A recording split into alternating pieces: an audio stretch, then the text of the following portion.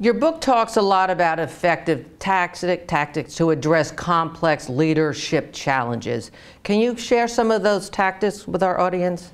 Yeah, I think so. Oftentimes we we have these meetings, and like 15 minutes in the agenda is this really complex issue, and and uh, within healthcare, it's it's uh, staffing, like how we're going to staff and how many hours we're going to give individuals to staff, how much we're paying each other, how we're changing our processes how we're merging cultures, organizations, how we're developing all these new things.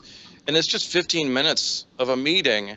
And it does not tend to be a great way of, of kind of considering these really thorny challenges. And so, what tends to happen in those situations is you have a leader who speaks up, maybe another loud individual or powerful individual in the room, and then they move forward.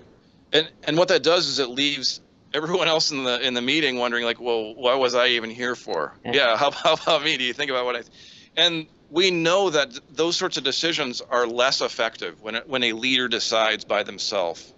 It's much better when we're able to bring in the perspectives of others. And so I think as we're we're facing these thorny challenges, I, I like this this kind of framework called row forward.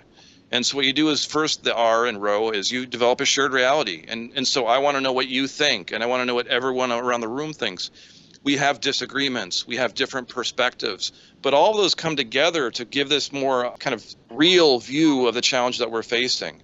And so now we have shared reality. And so then, and only then do you start to move forward to what are the options, the O and row forward of the things that we might do and then only after we come up with and brainstorm a bunch of options do we actually decide the way for the W and, and, and row forward, which is this is what we're going to do and this is what we're going to focus on.